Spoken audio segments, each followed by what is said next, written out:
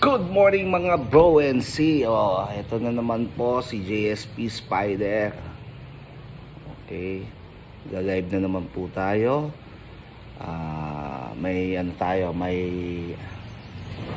may sasabihin tayo no. Sa March 3 magkakaroon po ng ah, National Assembly. Ah, ano? Assembly po no. Assembly meeting po dito yung mga national officers, NCR officers pala mga chapter po ng NCR uh, NCR officers po magkakaroon ng meeting po dito on March 3 so pangunguna po ni eh, GSSP Mista okay? NCR President na si GSSP Mista syempre nandiyan din po si GS Warrior. So March 3 po pupunta po sila dito sa National Headquarters para sa gaganapin po na assembly meeting.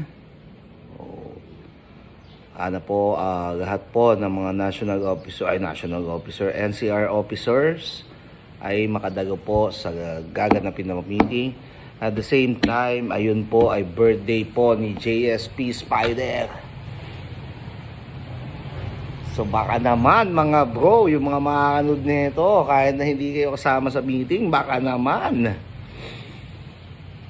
na pwede tayo mag-send ng Gcash para po sa ating mga handa. okay.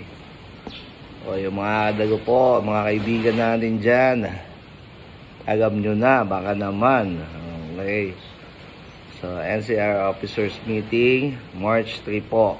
Uh, 8 a.m. po, dapat nandito na kayo dito sa National Headquarters. Ba't ba ako nabubulol putik na yan?